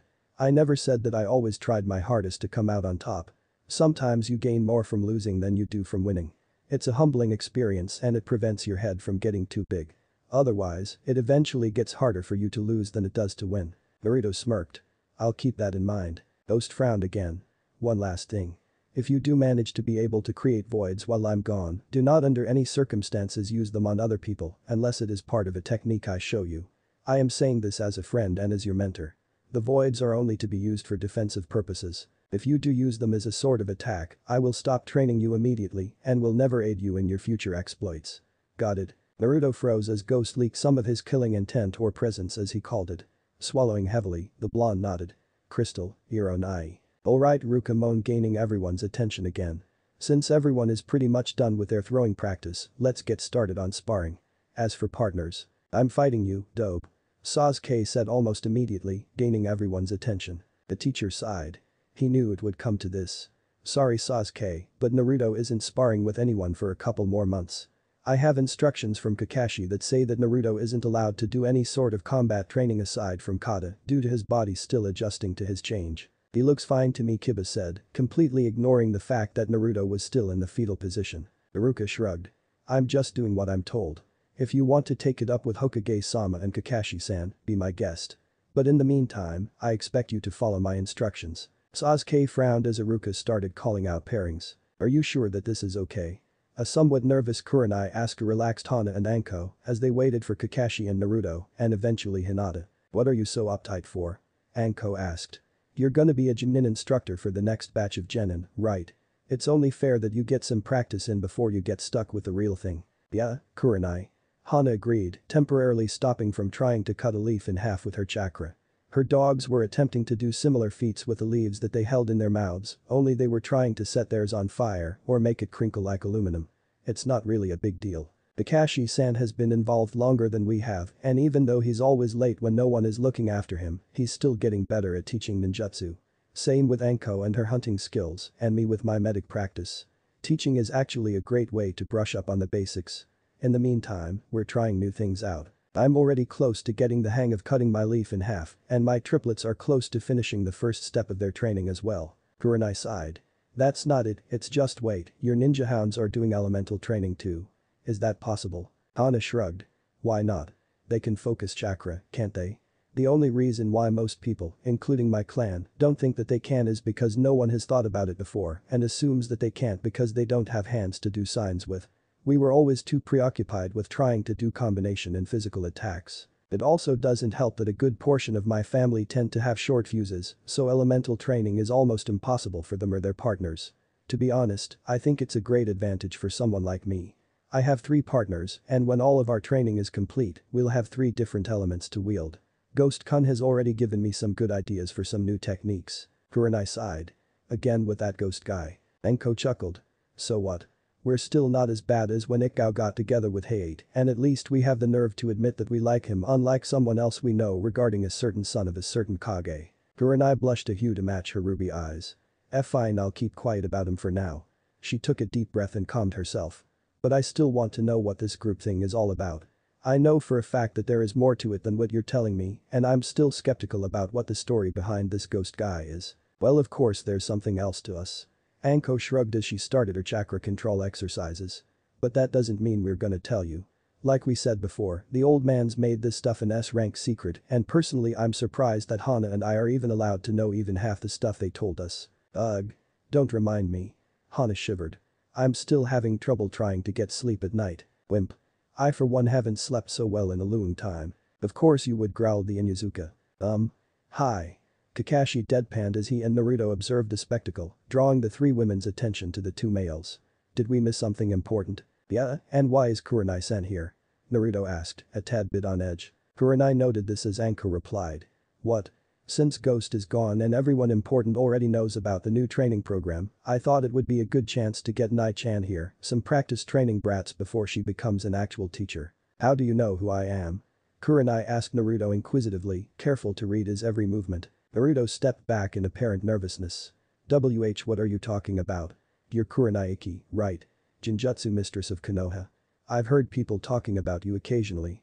Red eyes, long bushy black hair, great figure, huge rock crap I wasn't supposed to say that part. Kurenai's eyebrows twitched in annoyance as Anko and Hana tried not to laugh. Keyword. Tried. Out of the corner of her eyes, she saw Kakashi slowly edging away from her line of sight. Oh? And who may I ask said all this Naruto-kun? Just to let you know I'm quite good at telling when someone is lying. She asked with a sweet smile that was nowhere near enough to distract everyone from the evil-looking shadow behind her. Kakashi could have sworn the thing was looking in his direction. Kakashi sensei Naruto said without a moment's hesitation. Anko and Hana and her three hounds were on the ground laughing their asses off while said pervert was glaring at his student. I'll remember this. He growled as Kurenai turned her attention to him, which prompted the legendary copy nin to run for the safety of his ass. And Anko-sensei and Hana-sensei. Naruto finished his sentence with a sick grin on his face. The three women still present turned their attention back to Naruto, in which Kurenai merely gaped at the boy as the other two laughed even louder. W what? Kurenai stuttered. What? Kakashi-sensei talked about your figure and your skill with ninjutsu, Hana-sensei talked about your looks and your figure, and Anko-sensei well you should know that she talks about whatever the heck she feels like. You're damn straight I do. Anko confirmed. Kurenai face palmed. Then why did you wait to say Hana's and Anko's names? Naruto did his fox smile. And Miss Kakashi-sensei running away like a little girl. Careful kid Anko chuckled. Keep acting like that and you might scare Hinata away. This caught Kurenai's interest. Hana laughed. Not if she doesn't scare him away first. The girl's been getting scarier and scarier lately, though I don't blame her. With keeping all this crap a secret, going to the academy where they only teach dated theories and history, and then dealing with her clan. I would have gone nuts a long time ago. Who said I haven't already? Said Hinata, appearing from out of some nearby bushes, scaring nearly everyone there except Naruto, who had his seventh sense up and thus was smart enough to not say anything. Kurenai had been seeing less and less of Hinata recently, as she had been constantly been going to her training sessions after school. However, what she had seen and what she was seeing right now was a stronger young girl who believed in herself, though she still looked mostly the same. Hinata didn't make any motion that Kurenai was there as she walked straight towards Naruto and started to drag him away by the collar of his shirt. Naruto-kun, I believe that you promised to interrogate me today after class. Naruto was silently crying to himself as he saw Hana and Anko struggling to breathe at this point. Yes ma'am. He said as he made the cross hand symbol for the shadow clones and made his standard 2000 plus clones. Said clones stood at attention and saluted their doomed comrade as he was dragged deeper into the woods. Needless to say, Kurenai was speechless at what she just seen. What just happened? Let's see. Anko managed breathe out, smiling so wide it was a surprise her face didn't break.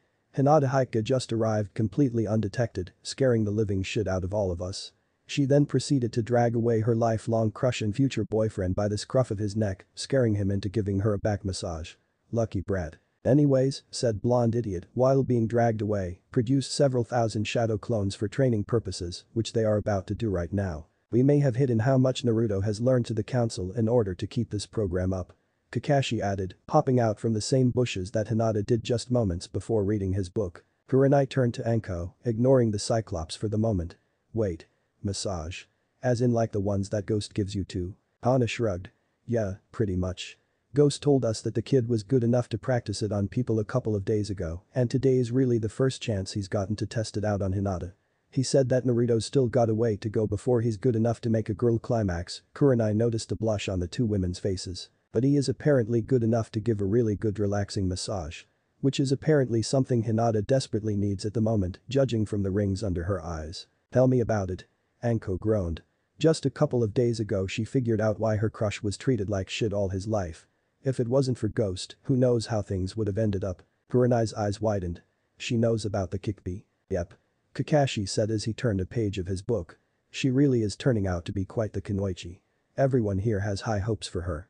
Although what really has my interest right now is that sister that Ghost keeps on ranting about. Do you guys suppose what he says about her is true? What? Hana asked. The stuff about the ice cream and the giant crabs or about the supposed dragon sealed inside of her. Everyone's sweat dropped. Take a wild guess. Kakashi sighed. HNNN Anko hummed as she adopted a thinking pose. He's never really had any reason to lie to us in that kind of manner before, so I'd guess that he's telling the truth. Considering how strong he is, I wouldn't put it past him to have some ridiculously powerful monsters in his family. Or in his lunchbox for that matter. Wait, didn't he say something about things to never do in front of specific family members? Kakashi asked. Oh yeah. Hana mused. Let's see, um. Never act like a fangirl in front of the smart one, never attempt to truly harm children or women near the grandfather, never try to figure out what the hell the crazy one is doing, there was another couple of things for that guy something about his blood. I think it was never under any circumstances drink the crazy one's blood or say demon chicken of doom near him under penalty of death or horrible maiming. Anko injected. As for his sister I'm pretty sure it was don't mention anything about her weight or age around her, also under penalty of maiming and or death. Kurenai sweat dropped. That is a messed up family aren't there any rules for Ghost? Anko, Hana, and Kakashi looked at each other nervously. I'm sure, but you have to make sure that no one finds out about it Hana said. Well, for Ghost-san, the rule is never Kakashi started. Ever, Hana continued. Ever Anko continued. Yes Kurenai was near frantic at this point. Put Chinese food near him. The three said in unison as Kurenai face faulted. An. I don't know how they would describe it in their world, so I'm just going to call it Chinese food here and assume that everyone knows what they're talking about. Dot. Why you're joking, right. We thought he was too until he told us the story behind it. Kakashi shuddered. Apparently, a few years ago his family ordered some takeout. One of his orders had some kind of super-powered bacteria in it, and to make a long story short, he spent the next three months living in a bathroom, constantly spewing fluids from all of his orifices. According to him, he was in such bad shape that it was impossible to attempt to put any medicine or chemicals in his body for fear of an unstable reaction. Any time he even thinks he's near the stuff, he starts to panic and his body starts to react. Hana shuddered. I tested it out once. Anko smirked. Got some dumplings and hid them in my pouch. Second I took them out, he was screaming like a child, holding his stomach and running off to the nearest bathroom, ranting about the ratio between how easy some toilet paper brands are on a person's ass and how fast they can clog a toilet. You just can't make shit like that up. An. Unless you are me. And he actually told you this? Kurenai asked skeptically. Yep. Anko answered with no tact. After he freaked out when Hana brought some leftover kung pao chicken from home, that one day Kakashi added with an eye smile. At first we thought it was pretty funny, but after the third time we exploited it, we kinda took it a bit too far when we saw how much it was disturbing him. And it was getting annoying to watch him wince and whimper every time he tried to squat or sit down. Anko chuckled. Normally that doesn't happen to a man I have interest in unless I. Okay, moving on. Kurenai interrupted to save the group from the mental images that Anko was about to give them all. Anko started to giggle evilly. I just remembered, the brat's gonna hate these next few months so much. Ghost and I came up with a new training exercise for him and I just got the okay to go through with it yesterday. Do I even want to want to know? Kurenai rubbed the bridge of her nose. Anko smiled. Well, let's just say that it simulates him protecting several precious Bakages while surrounded and chased by enemy forces. Also, whatever you hear about him for the next few months it was probably done with me behind him with a kunai at his back. A damned if you do, damned if you don't thing, huh? Kakashi asked. More like fucked over if you do and dead if you don't. Anko grinned with incredible glee. Duly noted. Kakashi commented. Um what is he doing? Kurenai asked as she watched as some of Naruto's clones practice chakra hopping. They were at a point where they looked like they were bouncing on a trampoline, doing tricks, flips, butt flops, belly flops, and other things. Oh, those are chakra hops. Hana answered. It's a new chakra control exercise that Ghost made up by accident. It's kinda hard to get the hang of at first, but after a while it grows on you. It's also a great way to build up your reserves pretty fun to do as well. Kurenai remained silent as she observed and analyzed the practicing clones. Hana-sensei, Anko-sensei, Kakashi-sensei. Called one clone from the side who was in front of three rather large groups of clones. What's taking you guys so long? Sorry Naruto. Kakashi replied. We were just giving Kurenai-san here some teacher's tips on what to expect from you and Hinata. Why don't you guys split into four groups instead so Kurenai can teach you as well? Her group doesn't have to be that big since she will only be going over Genjutsu theory and how to detect and dispel it. Makes sense. It's not like I'll be able to do Genjutsu anyway with my reserves and control. The leading clone shrugged. Well then. Kakashi said as he walked towards one group of clones. I'll be taking my group and ironing out their stances in jutsu. Poison, stealth, trap, and throwing minions, this way. Anko shouted as she started off towards the woods. Later Kurenai. I'm off to teach an asexually reproducing preteen boy how to kill people. Very funny Anko. Hana commented sarcastically. Meta clones. We're going to that smaller field by the edge of the grounds. She turned to Kurenai. Just give him a chance. He's actually a good listener if you bother to give him attention. Oh, and don't bother teaching him Genjutsu, just how to detect and dispel it. His control isn't good enough to make any decent illusions. As for what else he can do well that's a secret for now. Hokage-sama will let you know later today if you should continue doing this or not. As for Hinata she's in good hands. And with that the Inuzuka walked away, followed by a couple hundred clones and her three hounds. Which left Kurenai alone with about a hundred clones all staring at her quietly. Needless to say it was a very awkward moment. Um. Kurenai stalled. You get used to it eventually. Deadpanned one clone knowing exactly what was going through the woman's mind. It took Hana-sensei a couple of days to get comfortable enough to not have panic attacks and stop ranting about what she shouldn't have eaten the day before. That was pretty funny. Chuckled one clone. Remember that time when most of us transformed into copies of the triplets? Sniggered another. Hahaha. Oh yeah. She started to panic like crazy and at one point screamed into the air and passed out. Too bad later she swore that if we did it again, she would use the original to test out her new techniques. Ugh. Don't remind me. Ironai's descriptions of all three of them were bad enough. Kurenai deadpanned. For some reason she felt like she was in way over her head. If you are done talking, we can begin the lesson. She said sternly. About time. All the clones said at once. This was gonna be a Luong day. As the sun set on the middle of a devastated forest about 250 kilometers away from Konoha, Jiraiya of the Sannin lay bloody and thoroughly beaten next to an only moderately injured elder toad sage, Fukasaku. Both were focusing their dazed eyes on the unharmed long-haired man who was sitting on a large upturned boulder and staring at the sky. Neither of the injured parties could say anything at the moment as they were still processing the information that literally flooded their minds and pondering how the hell they were beaten so badly. Even though Jiraiya had been given the link that Ghost had taken from Naruto first, he was still having trouble believing all the crap that had apparently happened. Now that both of you are back with the living Ghost side. We can discuss about what is going to happen in the next few years, Akatsuki, Orochimaru, and your second punishment for failing to be a competent human being and rider. It had been two months since Ghost had left. Sarutobi was a bit irritated at Anko and Hana for bringing Kurenai into the training regime without letting him know. After explaining what needed to be known to the Genjutsu mistress, everyone agreed to allow the woman to come and teach the two twice a week. Hana and her triplets had finally managed to finish step 1 of their elemental training, thanks to Kakashi's and Naruto's guidance. It also helped that at one point, Naruto decided to teach her the shadow clone technique. As for how her dogs managed to learn so quickly, everyone just assumed that since animals are more in touch with nature, they could learn such things faster than normal. Anko had a hell of a time training Naruto. Apparently Ghost's new training exercise was to sneak the blonde into a random bathhouse and cover him from head to toe in the women's section's underwear, then literally throw him in the middle of the spa where the owners could see him.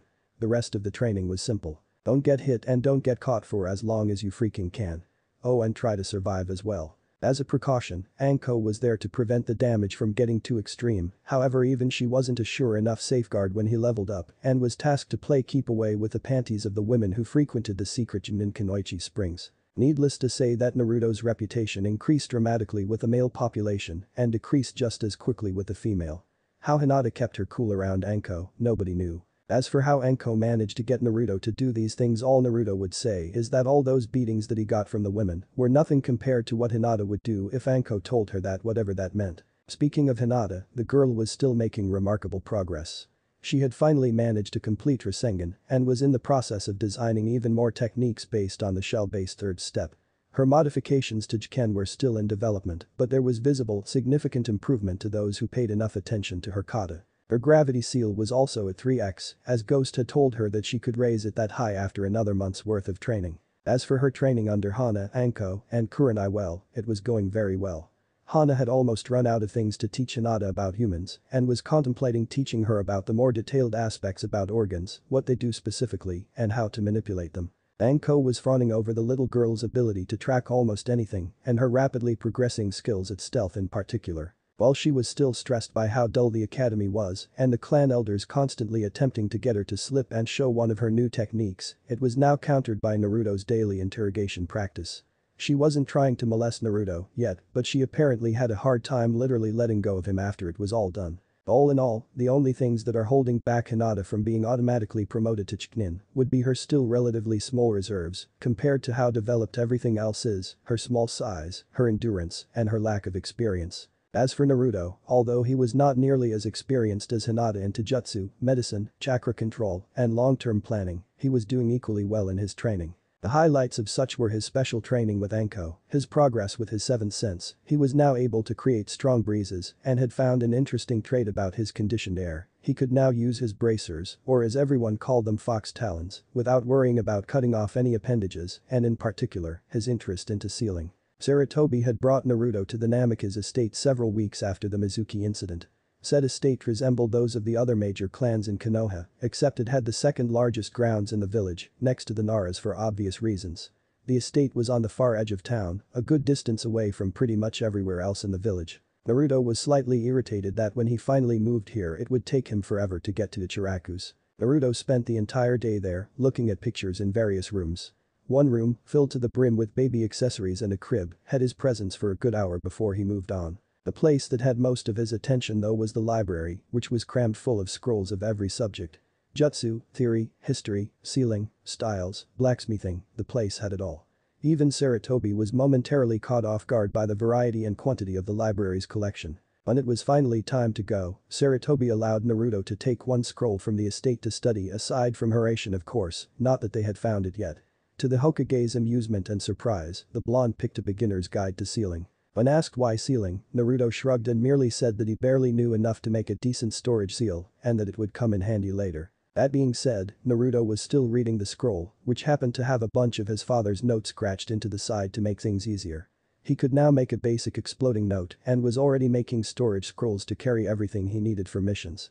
Unfortunately, everything else regarding sealing was still way beyond his reach, even with shadow clones. It was just too boring. Life at the academy was somewhat the same as well. While Naruto still pretended to be an idiot, saying stupid things and pulling pranks every two or three days, the entire class was treating him with some suspicion, meaning they treat him exactly the same as before, but are a bit lighter on the insults and name-calling. Sasuke occasionally tried to get Naruto to fight him, but Naruto still kept going on about his condition and that he would be able to fight soon enough. So just wait a few more weeks, duck butt. While Sasuke would have normally killed anyone who called his hair that, three things were in his way. 1. He would get into major trouble if he was caught and he didn't want to get on the bad side of the Hokage. The old man had made a point to the Uchiha during one of his temper tantrums when he was younger, after the massacre, that he was once Itachi's boss for a damn good reason. The boy doubted that the old man was stronger than his brother now, but that didn't mean that Sarutobi couldn't hand him his own ass with humiliating ease. 2. Naruto occasionally helped him out when he was getting chased by his fangirls, and he grudgingly admitted that he owed the dope. 3. And most important of all, Naruto had threatened Sasuke that if he went too far, Naruto would somehow make all his fangirls evolve into yaoi fangirls. Even though Sasuke hated Itachi with a passion, he still remembered his brother warning him that yaoi fangirls were the scariest things that he would ever encounter and that absolutely nothing could stop them once they got started. Considering that said brother killed an entire clan in a single night, Sasuke chose to take the safe route and only asked to fight Naruto twice a week. All in all, things were looking good. Izumo and Kotetsu were once again stuck on guard duty. For some reason, the two were always stuck with a job even though it was supposedly assigned randomly. The two had been pinned to the door so many times that people were starting to call them the gatekeepers. They were also called the sleeping dogs and those two unlucky bastards. As Izumo took his nap, Kotetsu lazily gazed down the road from the village. For some reason, he had been getting this odd feeling for a while. The kind of feeling that makes the hair on the back of one's neck stand on end for no discernible reason. It had started a few hours beforehand and had slowly gotten more distinct ever since. Rubbing his eyes for a moment, Kotetsu noticed that someone was coming towards the village. It appeared to be a man in a zipped-up black trench coat with a green flame design on the bottom, hovering barely an inch above his grey steel-toed boots. His short and spiky brown hair had lightning green highlights, which paled in comparison to his piercing sharp green eyes, which had a bored look to them. Slung over one shoulder was a small traveler's bag. All in all, the guy couldn't have been more than 5'8 Kotetsu didn't know why, but he had a feeling that this guy was not normal. Boy, wake up. He nudged Izumo as he analyzed the man. NNNNHHHH. What is it? The sleeping man yawned. Just stay awake for a moment. He whispered. You there? He called out as the stranger approached the gates.